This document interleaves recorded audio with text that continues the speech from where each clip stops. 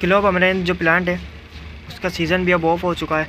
जो कलियाँ खिल रही थी, वो भी अब सूखने लग रही हैं, बिखर रही हैं।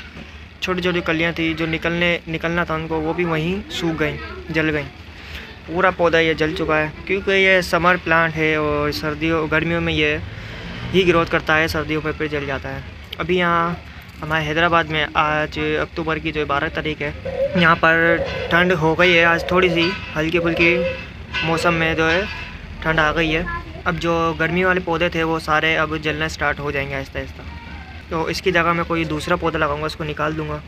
और इसकी जगह कोई मैं कोई विंटर प्लांट लगाऊँगा फ्लावरिंग प्लांट इसकी जगह।